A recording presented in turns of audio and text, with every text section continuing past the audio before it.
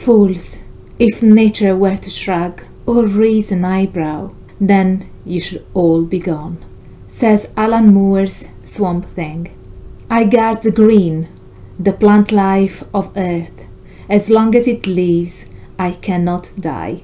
Paganism is often defined as being an earth based or nature worshipping religion. In addition, its polytheistic proclivity leverages on pre Christian or non Abrahamic mythologies and relationships with other than human beings. Do we find any of that in comic books? Let's explore in this episode pagan sensibilities in comics.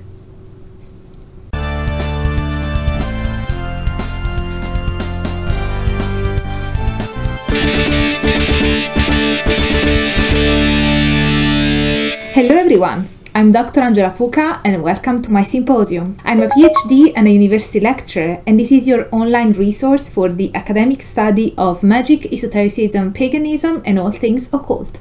In this episode, we will go over a few pagan friendly elements found in comics, more specifically in the artistic works of Alan Moore, Neil Gaiman, and Grant Morrison it's not really going to be paganism in comics, but uh, rather topics, features, and characters that align with pagan sensibilities. I'm limiting what I'm covering to what is found in my source, but I really invite you guys to leave a comment letting me know what comic books do you know that either incorporate pagan themes or are particularly pagan friendly. It would be interesting to do further research on the topic to make more videos for you guys. So your input and feedback are always appreciated. As Kennet Granholm explains, catering to pagan sensibilities has become a popular theme in comics since the 1980s. The element manifests, for instance, in a propensity towards nature based themes and other the human beings or other the human persons as it is reported in the scholarly literature. Alan Moore's Saga of the Swamp Thing is a pioneer on the matter. In 1972, its character was originally portrayed as a scientist turned into a monster due to a scientific endeavor gone wrong, a common background story in comics. Then, when Moore started writing the series in 1984, he dramatically revealed that Swamp Thing was not really Alec Holland transformed into a plant, but rather a plant that thought it was Alan Holland. This plot twist was revealed in a dramatic fashion when the swamp thing is shot and the doctor dissecting it finds to his astonishment that its organs are nothing more than crude non-fictional approximations of human ones. And we know that you cannot really kill a vegetable by shooting it through the head. So the swamp thing revives, exacts revenge, and escapes going on to assume the role of protector of all plant life on the earth, being in contact with all plant life through an astral plane like dimension called the green, and gaining new powers such as being able to travel vast distances almost instantaneously by dissolving its body and regrowing it somewhere else. The notion of a living nature is a classic and widespread feature of occult philosophy and a prevalent one in paganism, which aligns with the monistic worldview presented in Moore's Saga of the Swamp Thing. Monism is different from monotheism, as the latter implies the belief in only one God who creates the manifested world, whereas the former entails the idea that everything is one, and that oneness of which we are all part, including plants, animals, and objects, is in all of its forms living godness. Grant Morrison's Animal Man presents a similar theme. In its inception in 1965, Animal Man was a superhero who gained the power to emulate the abilities of different animals due to a contact with crash landed aliens. Yet, Morrison made drastic changes to the character and its story when they began writing the comic series in 1988. Now the story goes like that. In an entheogen assisted Native American vision quest, Animal Man comes to realize that his powers are the result of him being in contact with all animal life on Earth through the astral plane like the Red. And it is through this contact that he can borrow the powers of different animals. In Animal Man's newfound affinity with the non-human animals, he becomes a strict vegetarian, starts increasingly working for animal liberation and ecological welfare, and eventually even starts to take on physical non-human characteristics when borrowing animal powers.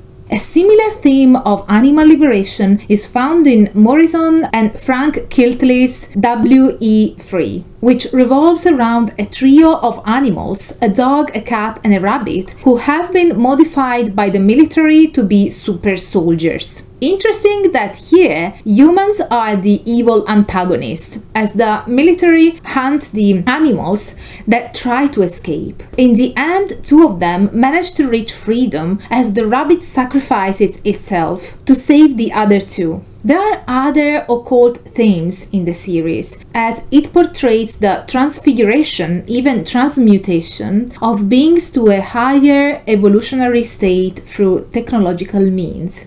Lastly, in Neil Gaiman's Sandman, we can see the creation of a non-Christian mythology with the introduction of the Endless, a family of eternal principles manifested in personified form. Destiny, death, dream, destruction, despair, desire, and delirium, who first manifested as delight. As Granholm points out, even though the series engages heavily in existing mythology, including Christian mythology, the Endless embody principles that are more ancient and fundamental in the fabric of reality than gods and other supernatural beings. Another element that we find often both in shamanism and in paganism is the importance given to the dream world and more specifically to dreams as creative and or exploratory experiences in one's life. An interesting story portraying the power of dreams in comics is the self-contained A Dream of a Thousand Cats in the Sandman series. In the story, a cat meets Sandman in the form of a black cat, noting that Dream appears in the form expected by the dreamer, and tells the cat the story of how humans used to be the pets of cats in the past, and minuscule compared to them. Then they, human beings, collectively dreamed themselves as the rulers of Earth, and thus changed reality to always having been so. The cats meet in groups, discuss, and the story ends with one cat sleeping and in his sleep hunting something, implying that the cats are now dreaming a new reality into existence. Now, this is by no means an exhaustive summary of pagan or pagan friendly elements in comic books, and can be seen more as an appetizer, covering a few themes in comics that opened the narrative to different worldviews that seem to be in line with a pagan and perhaps even occult perception of the world. But do let me know in the comments what other comic books or comic stories entailing or portraying pagan elements or even paganism you'd like to see next on this channel. This is it for today's video. If you like my content and want me to keep the academic fun going, please consider supporting my work with a one-off PayPal donation by joining the memberships or my inner symposium on Patreon, where you will get access to our Discord server, monthly lectures, and lots of other perks depending on your chosen tier. And if you did like this video, don't forget to smash the like button, subscribe to the channel, activate the notification bell so that you will never miss a new upload from me, and as always, stay tuned for all the academic fun. Bye for now.